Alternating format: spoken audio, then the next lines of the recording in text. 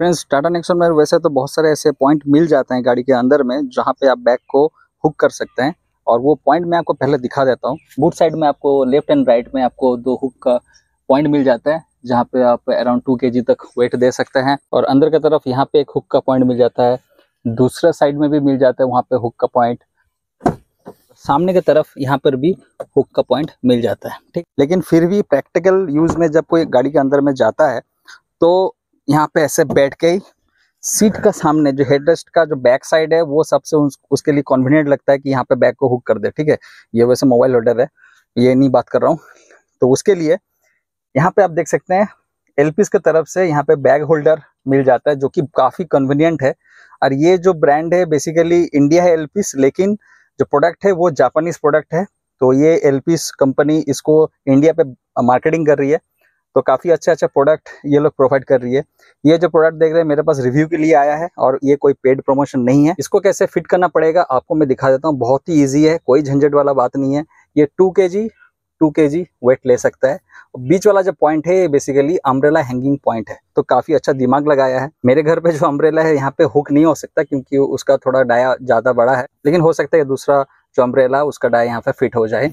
तो यहाँ पे टू के जी टू के जी और यहाँ पे आप एक के जी तक लोड दे सकते हैं। मतलब ये टोटल जो सेटअप है फाइव के जी लोड ले सकती है।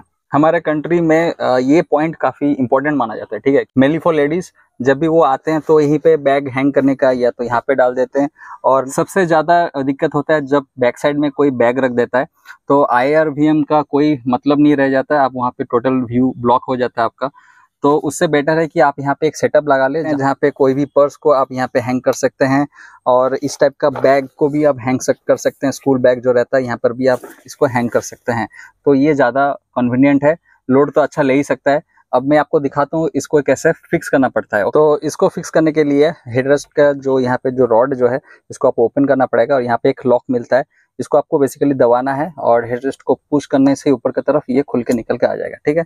और ये जो डाया है ये बेसिकली यहाँ पे जो होल्स आप यहाँ पे देख रहे हैं यहाँ पे दो है यहाँ पे दो है और यहाँ पे दो है तो यहाँ पे आप जो इसका जो लेंथ जो है जो डिस्टेंस है उसके हिसाब से आप अपना सेटअप यहाँ पे कर सकते हैं ठीक है तो मेरा यहाँ पे जैसे एक्सट्रीम जो टू आउटर जो होल्स है वो मेरा यहाँ पे मैचिंग हो रहा है तो बस मुझे इसको यहाँ पे सेट करना है इसको यहाँ पे डालना है और इसको जस्ट पुश कर देना है ओके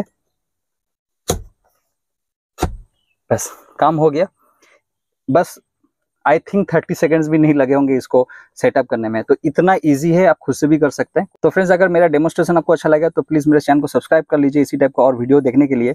और ये जो कॉन्सेप्ट है, अगर आपको पसंद आया है तो और परचेस करना चाहते हैं तो डिस्क्रिप्शन बॉक्स में इसका मैं बाय लिंक दे दूँगा। वहाँ पे क्लिक करके आप डायरेक्ट इसको परचेस कर सकते हैं। तो वीडियो को एंड करते हैं दोस्तों। Thanks for watching awesome tech rider and keep watching awesome tech rider